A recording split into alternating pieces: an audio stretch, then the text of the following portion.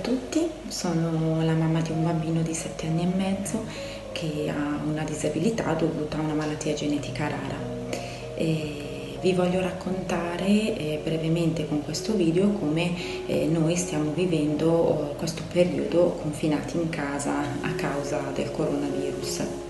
E da sette anni eh, la nostra quotidianità è ben strutturata e eh, scandita da ritmi abbastanza incalzanti perché tutti i giorni eravamo abituati a fare le piste tra eh, casa, terapia, scuola, attività.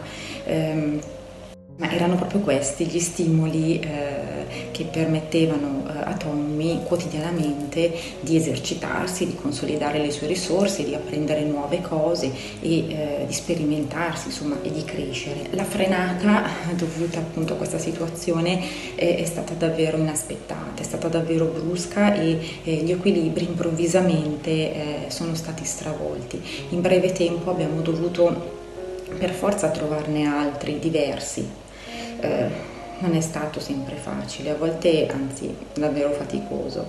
Eh, la fortuna che abbiamo avuto è sicuramente quella ehm, di, essere, eh, di, non essere stati lasciati soli da tutte eh, queste persone che quotidianamente ehm, ci circondavano e di aver avuto eh, davvero persone eh, speciali, dalle terapiste, lui è seguito eh, dalla neuropsichiatria infantile a Crema, dalle maestre sempre disponibili, sempre presenti anche con dei brevi video di saluto, presenti proprio anche a livello affettivo. Insieme poco per volta, passo dopo passo, abbiamo aggiustato il tiro e eh, proposto a Tommy delle attività che fossero sempre più alla sua portata, eh, per esempio eh, niente video lezioni o terapia a distanza che abbiamo appunto provato ma ehm, Tommy non riusciva a seguire per un problema di attenzione che è proprio dovuto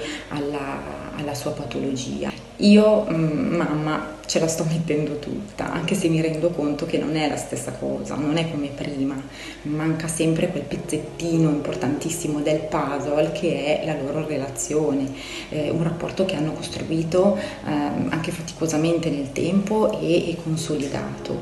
Io questo non glielo posso dare.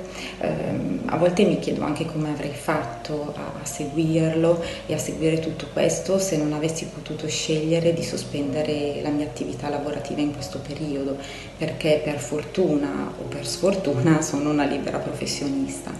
Eh, spesso è davvero faticoso, però sono contenta di aver fatto questa scelta.